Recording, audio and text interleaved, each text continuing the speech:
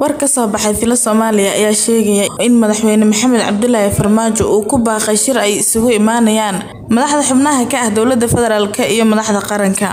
Madaxweynaha Jamhuuriyadda Federaalk Soomaaliya Mudane Maxamed Cabdilaahi Farmaajo oo mudnaanta siinaya dhaqangelinta heshiiskii toddoba iyo tobankii Sebteembar ee doorashooyinka dalka iyo iyo sii ambaqaadida talooyinka xalka ay soo gudbiyeen Guddiga Farsamada Arrimaha Doorashooyinka ee ku shiray Baydhabo.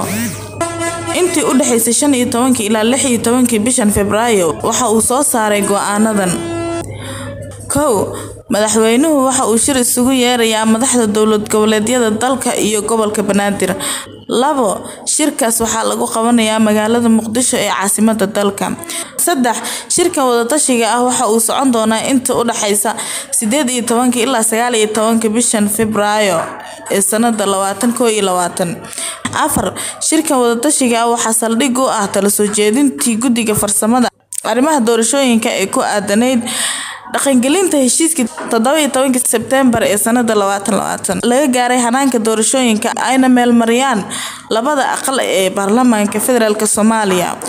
Dowladda Federaalk Soomaaliya waxa ay bogaadinaysaa dadaallo ay bixiyeen xubnaha heer federaal iyo heer dowlad goboleed ee Guddiga Farsamada Arrimaha Doorashooyinka magaalada Baydhabo ku lafa-guray caqabadaha fulinta heshiiska toddoba iyo tobankii Sebteembar dhabaha u xaaray qabsoomidda doorasho ka turjumaysa horusocodka dimuqraadiyadda ee dalka ayaa lagu yiri war ka soo baxay Filo Soomaaliya.